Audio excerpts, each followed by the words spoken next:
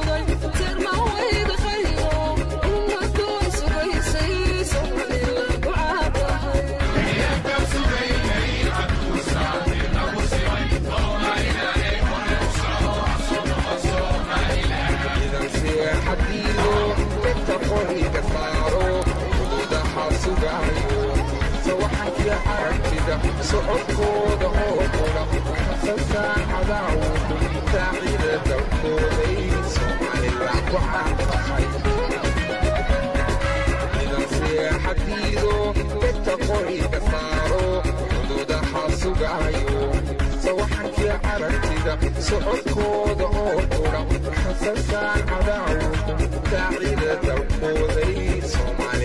caanfahay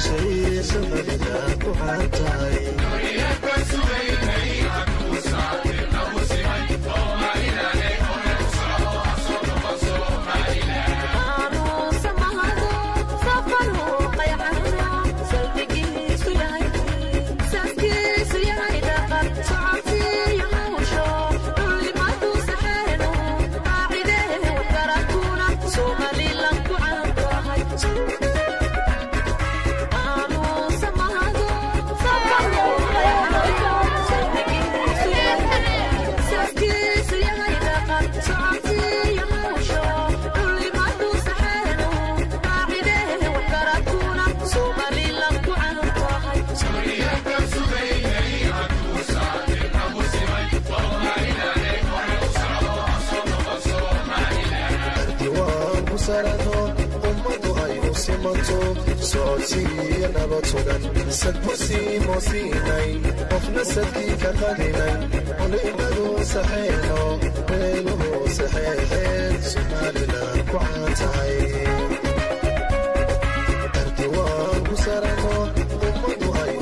تو سازی أنا و تو من سپوسی موزی نی افن سدی کتدی نی ولی منو بينو بینو سحیحی سنالنا قعات عین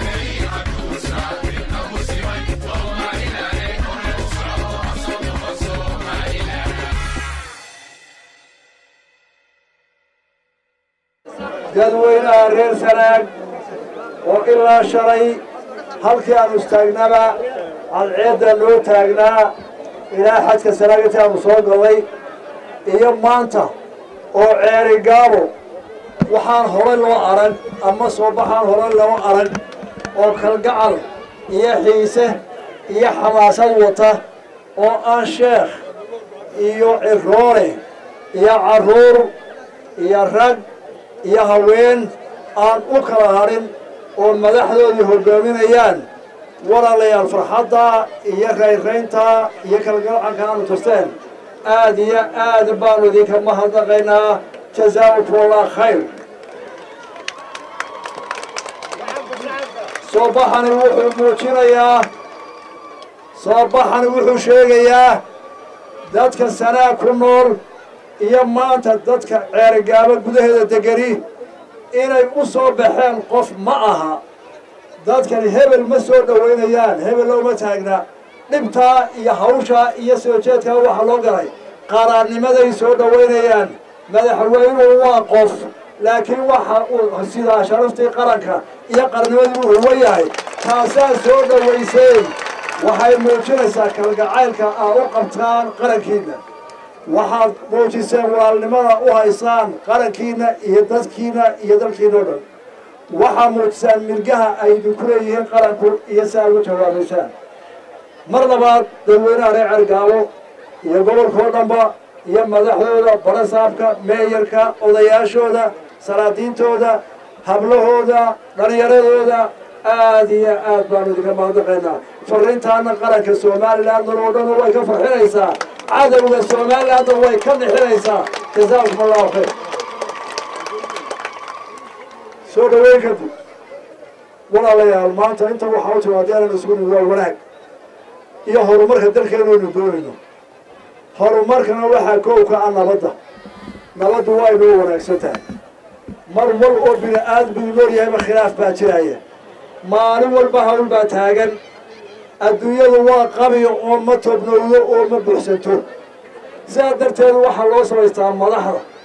Hadduu caaqil yahay hadduu suldaan yahay hadduu yahay meeyer iyo barasaab iyo baarlamaan iyo madaxweyne iyo culima waxaynu u samaysanaa inaynu maalin walba qabyadaynu gufayno.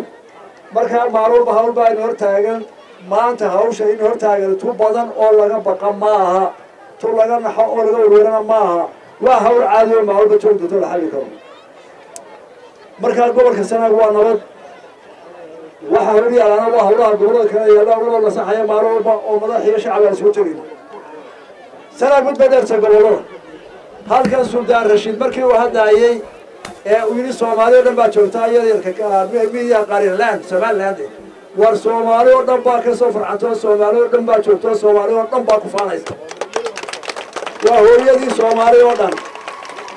Laakiin dee ilaahay buqcadda barakaysan ee laga soo tarmay ee xijiga leh ee dahabka leh ee badda leh ee saajka leh ee dadka wacale ilaahay wuxuu ku beegu ku abuuray dowlad ahaan inay noqoto dalka somalilan hadday tahay taariikh daraawisheed iyo hadday tahay tu culimo iyo hadday tu halgan tahay waa dal somalilan ilaahay ku abuuray oo taariikhdaa leh oo ay dalalka kale aanay la wadaagin laakiin magaceeda ay la wadaagaan taana intaasaa lagu saxaya halkan maalintii ugu dambaysay dhowr qodob baan ka hadlay. Waxaan ka hadlay dadka somalilan marka la leeyahay waxba isu qarimaynaa dood baa jirta. Doodaa waxaa loo qaadaa ragga somalilan siyaasadda u haya xisbiyada kamida iyo madaxdoodu soomaali bay necab yihiin soomaali bay ka cararayaan ka goostaan maalinta hore loo haddana waa ku celinaya horta waxaan idiin sheegayaa somalilan dadka ku nool. Xaadka u baryeeya ilaa ka u galbeedeeya. Marka magaca soomaalida la yidhaahdo sharaftiisa soomaali iyo wanaaggeeda iyo horumarkeeda iyo wadajirkeeda koow bay ka oo iyagaa bilaabay. Taariikhdu waa maguuraan sidii baana u jeceliya soomaaliya inay wanaagsanaato haddaba waxaanu leenahay waar soomaali haddii dawladda dhistaay ka xumaatay oo ka duntay oynu ognahay oy muddo toddobiyo labaatan sanadooda murug ku jirto. Walaalayaal qaybta ay murugu ku jira ee qasan ee inaganayna dhibaysa iyaguna isdhibaya waa qaybtii talyaanigu xukumi jiray waxaanu jecelnahay wanaagooda iyanan wax la qabanaa labadaba. Waxaanu jecelnahay inanu ka ammaan helo annaguna ammaan siino. Weliba dadna waa isku xignaa af soomaalina waa ku wada hadalaa dhaqanna waynu wada nahay inaanu idinla xalilo mashaakilkiina. Laakiin somalilan mid bay dood ka qabtaa wana aqbalay waxa weeye gurigeygiiyo gubanaya iigu kaalay oo ila gubo. Haddii kale kaagaan kula gubo oo iga tegi mayso dadkaad ila geysa waa ku jiidanaya waar dee caqli ma aha. Somalilan toddobiyo labaatan sane dhisnay ciidamo ajnabi uma iman. Ciidi mushahar ma siinin dowladdeeda ciidankeeda ciidi mushahar ma siinin madax dhaqameedka kolba magaalo looguma yeerin sawaaxili iyo magaalo ajnabi ee madax dhaqameedkeedu iyagaa sanaa ka bilaabay. Shirkii u horreeyey ee nabadaynta ee somalilan ee koob iyo sagaashanka iyo labiyo sagaashankii halkanaa laga bilaabay ka unkantay ilaa iyo booram u socday shirkaas. Maanta waxaan leedahay haddaanu somalilan nahay waar tani way way dhisantay oo wax badan bay qabsatay oo gudaheedii bay hagaajisay oo inta ka dhibanna way hagaajisanaysaa qolada taliyaan weysan jira koonfurta waxaanu leenahay waar walaalayaal annagiina na dhibte oo maalin walba qas iyo waxaad nala ag joogtaan dhibaato. Annagu waxaanu wadaa nabad iyo wanaag ee waxaanu doonanaa inaanu wanaagga idiin soo fidinno. Idinkuna aad dabka iyo sharka naga haysaan intaanu isku hayno waa intaa keliya. Sanaagna waxaan leeyahay gaadhigu jeen bu wey jeenkaa isku xidha gaadhiga. Candhadaa la yidhaahdaa hamsatu wasal bay waadadu yidhaha markay xurufta isku xidhayaan sanaag waxa weeye meel shir ka soo farcamay. Waa meel cid waliba degan tahay. Waxay noqonaysaa hamsatu wasal tii soomaali isku xidhaysay dhaqan ahaan iyo istifaagalad ahaan iyo baayac mushtari ahaan.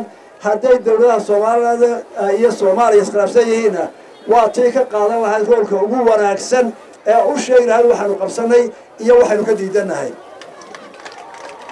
Somaliland lagu xaban maayo soomaali bay magaca soomaaliyeed bay kadiyadiidaysaa soomaali annaga ku faanaynaa islaamkana ku faanaynaa diintana annaga u gurmanaynaa wanaag baanu doonaynaa qofkii shar wado waxaa lena sharkaaga naga daa. Hadduu sharka naga daa waayo waa iska qabanaynaa. Keliya weliba nin walba wanaag baanu la jecelnahay.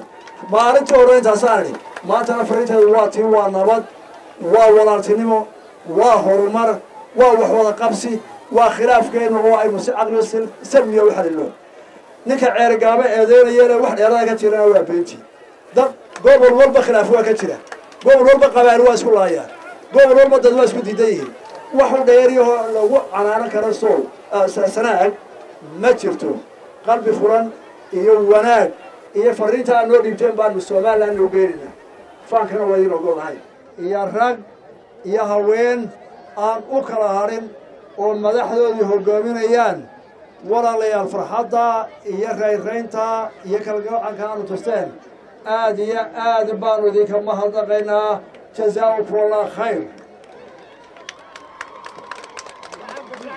Soo baxani wuxuu muujinayaa soo baxani wuxuu sheegayaa dadka sanaa ku nool iyo maanta dadka ceerigaabo gudaheeda degani inay u soo baxeen qof ma aha dadkani hebel ma soo dhowaynayaan hebel looma taagna. Dhibtaa iyo hawshaa iyo soo jeedkaa waxaa loo galay. Qaraarnimaday soo dhowaynayaan madaxweynuhu waa qof laakiin waxa uu sidaa sharaftii qaranka iyo qarnimadii uu huwan yahay taasaa soo dhowayseen waxay muujinaysaa kalgacaylka aa u qabtaan qarankiinna. Waxaad muujiseen walaalnimada u haysaan qarankiinna iyo dadkiinna iyo dalkiina dhan waxaa muujisaan mirgaha ay idinku leeyihiin qaranku iyo si aad ugu jawaabaysaan mar labaad dadweynaha reer cergaabo iyo gobolkao dhanba iyo madaxdooda barasaabka meeyarka odayaashooda salaadiintooda hablahooda dhallinyaradooda aad iyo aad baanu idinka mahadnaqaynaa. Fariintaana qaranka somalilandan oo dhan way ka farxinaysaa. Cadowga somalilandan way ka nixinaysaa jazaakum allahu khayr soo dhoweyn kadib walaalayaal maanta inta waxaa u timaada inaan isugu nid waa wanaag. Iyo horumarka dalkeenaynu doonayno. Horumarkana waxaa koowka ah nabadda. Nabaddu waa inoo wanaagsan tahay. Mar wal oo bini aadmigu nool yahayba khilaaf baa jiraya maalin walba hawl baa taagan. Adduunyadu waa qabiyo oo ma tobnowdo oo ma buxsanto sidaa darteed waxaa loo samaystaa madaxda. Hadduu caaqil yahay hadduu suldaan yahay hadduu yahay meeyar iyo barasaab iyo baarlamaan iyo madaxweyne iyo culima waxaynu u samaysanaa inaynu maalin walba qabyadaynu gufayno. Markaa maalin walba hawl baa ina hortaagan maanta hawsha ina hortaagan tu badan oo laga baqa ma aha tu laga naxo oo laga werwerana ma aha waa hawl caadi oo maalin walba joogi doonto la xalli karo markaa gobolka sanaag waa nabad. Waxa hawl yaalaana waa hawlaha gobollada kale yaalla waloo la saxaya maalin walba oo madax iyo shacab aan soo tegayno sanaag mid bay dheerta gobollada halkan suldaan rashiid markii uu hadlaayey ee uu yidhi soomaali o dhan baa joogta iyadeerka midiyaha qarinland somaliland war soomaali oo dhan baa ka soo farcanto soomaali oo dhan baa joogto soomaali oo dhan baa ku faanaysa waa hooyadii soomaali oo dhan laakiin dee ilaahay buqcadda barakaysan ee laga soo tarmay ee xijiga leh ee dahabka leh ee badda leh ee saajka leh ee dadka wacan leh ilaahay wuxuu ku beegu ku abuuray dowlad ahaan inay noqoto dalka somalilan hadday tahay taariikh daraawisheed iyo hadday tahay tu culimo iyo hadday tu halgan tahay waa dal somalilan ilaahay ku abuuray oo taariikhdaa leh oo ay dalalka kale aanay la wadaagin laakiin magaceeda ay la wadaagaan. Taana intaasaa lagu saxeeyaa.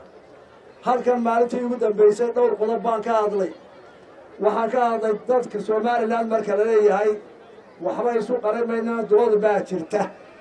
Doodaa waxaa loo qaadaa ragga somalilan siyaasadda u haya xisbiyada ka mida iyo madaxdoodu soomaali bay necab yihiin. Soomaali bay ka cararayaana ka goostaan. Maalinta hore loo haddana waa ku celinaya horta waxaan idiin sheegayaa somalilan dadka ku nool xaadka u baryeeya ilaa ka u galbeedeeya. Marka magaca soomaalida la yidhaahdo sharaftiisa soomaali iyo wanaaggeeda iyo horumarkeeda iyo wadajirkeeda koow bay ka yihiin oo iyagaa bilaabay. Taariikhdu waa maguulaan. Sidii baana u jecelaya soomaaliya inay wanaagsanaato haddaba waxaanu leenahay waar soomaali haddii dowladda dhistaay ka xumaatay oo ka duntay oynu ognahay oy muddo toddobiyo labaatan sannadooda murug ku jirto. Walaalayaal qaybta ay murugu ku jira ee qasan ee inaganayna dhibaysa iyaguna isdhibayaa waa qaybtii talyaanigu xukumi jiray waxaanu jecelnahay wanaaggooda iyadan wax la qabanaa labadaba. Waxaanu jecelnahay inaynu ka ammaan helno annaguna ammaan siino. Weliba dadna waa isku xignaa af soomaalina waa ku wada hadlaa dhaqanna waynu wada nahay. Inaanu idinla xalilo mashaakilkiina laakiin somalilan mid bay dood ka qabtaa wana aqbalay. Waxa weeye gurigeygiiyo gubanaya iigu kaale oo ila gubo. Haddii kale kaaga aan kula gubo oo iga tegi mayso dabkaad ila geysa waa ku jiidanaya waar dee caqli ma aha. Somalilan toddobiyo labaatan sanay dhisnay ciidamo ajnabi uma iman. Ciidi mushahar ma siinin dowladdeeda ciidankeeda ciidi mushahar ma siinin madax dhaqameedka kolba magaalo looguma yeedhin sawaaxili iyo magaalo ajnabi. Ee madax dhaqameedkeedu iyagaa sanaa ka bilaabay. Shirkii u horreeyey ee nabadaynta ee somalilan ee koob iyo sagaashanka iyo labiyo sagaashankii halkanaa laga bilaabay ka unkantay ilaa iyo booram u socday shirkaas. Maanta waxaan leedahay haddaanu somalilan nahay waar tani way dhisantay oo wax badan bay qabsatay oo gudaheedii bay hagaajisay oo inta ka dhibanna way hagaajisanaysaa qolada taliyaan weysan jira koonfurta waxaanu leenahay war walaalayaal annagiina na dhibte oo maalin walba qas iyo waxaad nala ag joogtaa dhibaato annagu waxaanu wadaa nabad iyo wanaag ee waxaanu doonayna inaanu wanaagga idiin soo fidinno idinkuna aad dabka iyo sharka naga haysaan intaanu isku haynaa waa intaa keliya sanaagna waxaan leeyahay gaadhigu jeen buu leeyay jeenkaas wuxuu gaadhiga. Candadaa la yidhaahdaa. Hamsatul wasl bay waadadu yidhaha markay xurufta isku xidhayaan. Sanaag waxa weeye meel shir ka soo farcamay waa meel cid waliba degan tahay.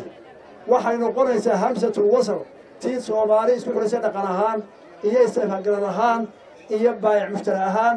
Hadday dowladaha soomaalida iyo soomaaliya iskhilaafsan yihiinna waa tii ka qaadan lahayd roolka ugu wanaagsan ee u lahayd waxaanu qabsannay iyo waxaynu ka diidannahay. Somaliland lagu xaban maayo soomaali bay magaca soomaaliyeed bay ka diidaysaa soomaali anaa ku faanaynaa islaamkana anaa ku faanaynaa diintana anagaa u gurmanaynaa wanaag baanu doonaynaa qofkii shar wado waxaa leena sharkaaga naga daa. Hadduu sharka naga daa waayo waa iska qabanaynaa keliya weliba nin walba wanaag baanu la jecelnahay. Maalintii hore intaasaan idhi maantana fariinteedu waa tii waa nabad waa walaaltinimo waa horumar waa wax wada qabsi waa khilaafkeenna oo aynu si caqli salmiya u xalilo. Ninka ceergaabo eedeynayana wax dheerada ka jirana waa beentii dad gobol walba khilaaf waa ka jira. Gobol walba qabaal waa isku laayaan gobol walba dad waa isku diidan yihiin waxu dheeriyahoo lagu canaanan karo sool sanaag ma jirto. Qalbi furan iyo wanaag iyo fariinta aad noo dhiibteen baanu somalilan noo geynayna faankana waa idiin ogol lahay intaasoo dhan ilahay siiyey wasalaamu calaykum waraxmat ullahi